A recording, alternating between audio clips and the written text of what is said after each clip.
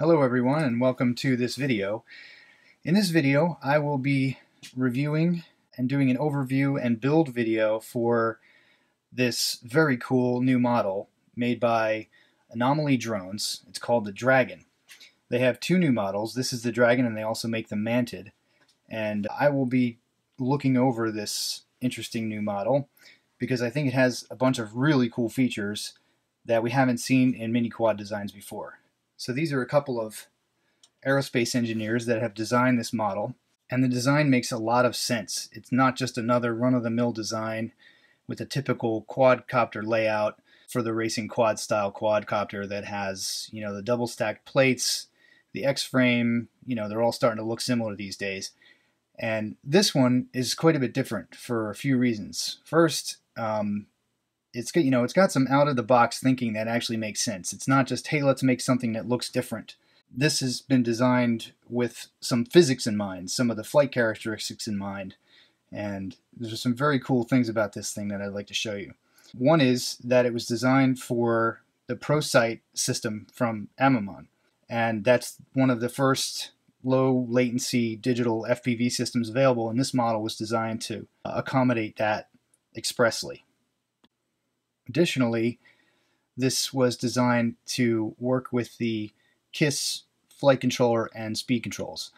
Uh, actually, any flight controller will fit, and other speed controls could be used, but it was designed to use the KISS system perfectly, and you'll see why when I take the canopy off. And if we just look at this model, we'll see that it's got some very interesting features. First of all, when you when you get the model, it comes pre-assembled like this, with the exception of the antenna holders. But it comes with the parts already fitted so that you know everything is going to fit together the way it should. It uses very high quality carbon with a really nice finish. And the canopy here provides protection for the internal components, and everything fits with inside the canopy, obviously except for the motors and antennas, propellers and such. But the speed controls fit inside, the battery even fits inside. If we look underneath, there's a cavity here for the battery to fit inside the frame. And it may stick out a little bit, but if, essentially it's very close to the center of gravity in the machine, lowering the polar moment of inertia, helping performance.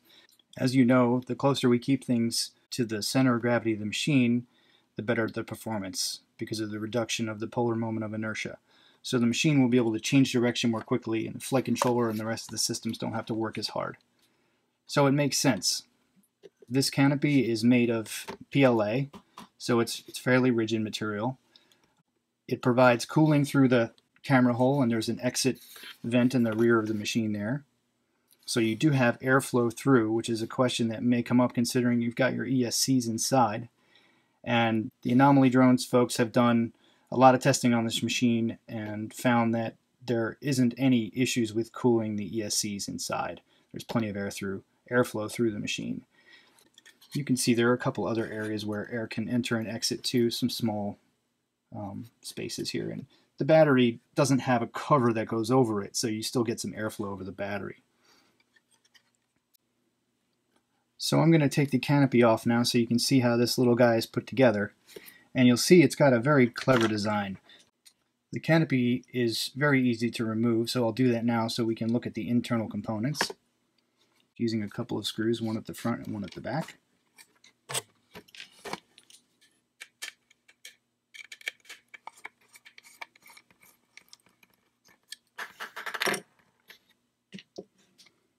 when we remove the canopy, we see the internal components here, or the internal structure that holds the components.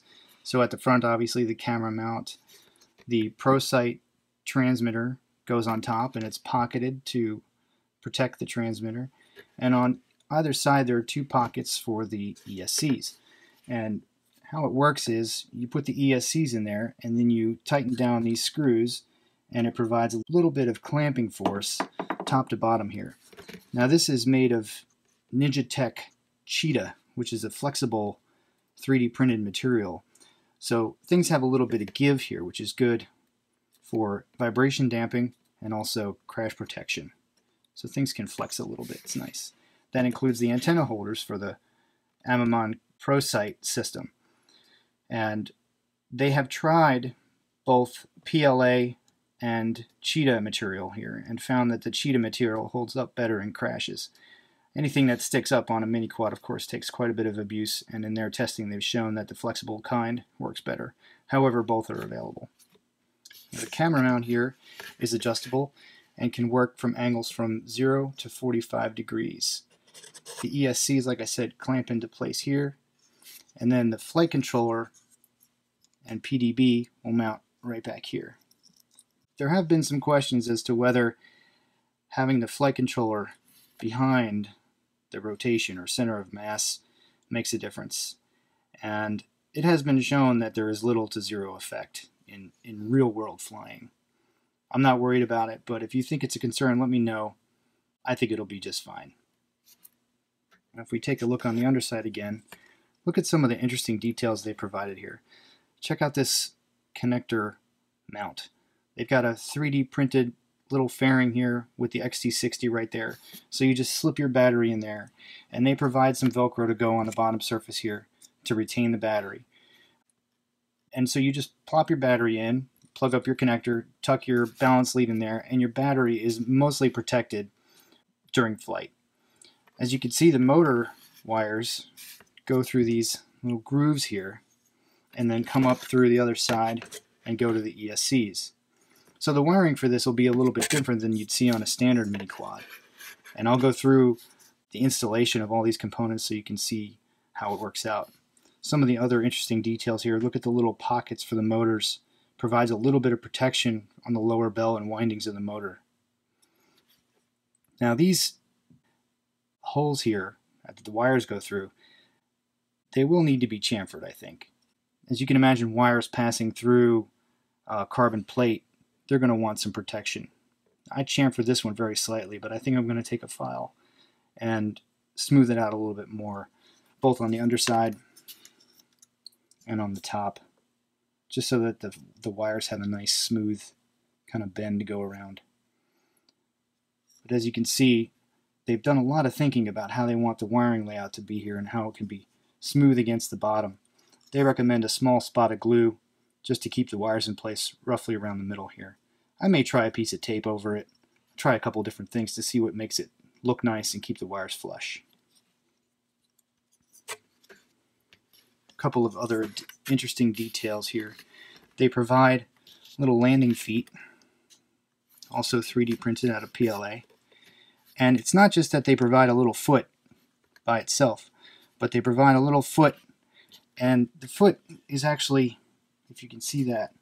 The foot is actually notched out so that a little neoprene pad can fit inside there, just like that, into a little pocket. I have to figure out what the orientation is on these, but suffice to say, it's got a nice little landing foot with a neoprene pad.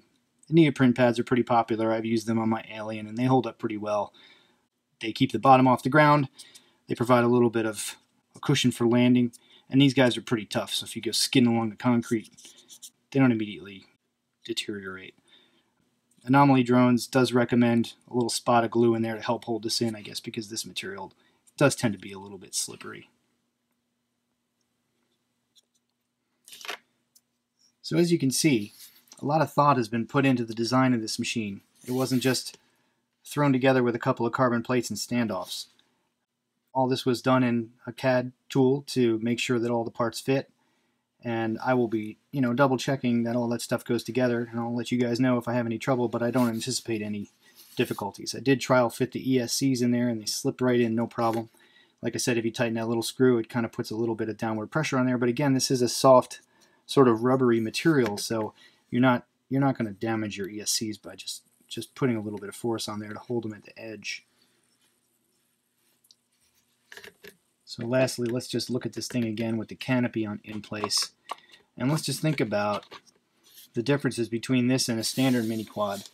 Look at the aerodynamic profile of this guy. Even when it's tilted forward, the way we do when we fly, this thing is tilted way forward, this machine is going to have much less aerodynamic drag than your standard mini quad.